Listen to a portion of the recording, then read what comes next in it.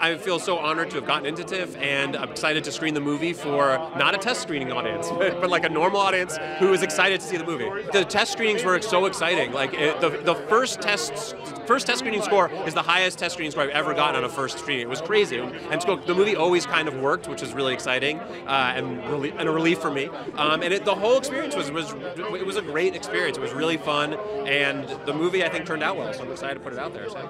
It's so important with any movie that I make to be as specific as possible to the character or to the piece of talent that I'm working with. And Billy's story is very specific. And the more specific you are with the story, the more relatable the movie is. Uh, and so it, it, the only conversation that Billy and I had was for the movie to be really honest and also to be really, really fun. Those are the two things. And the minute we decided to do it, to cast it with an entirely LGBTQ audience, I mean, LGBTQ cast, I knew that uh, it would be the right thing for the movie, but it also would result in a cast you've never seen before and performers you've never seen before, and that that would be really fun for, for the audience.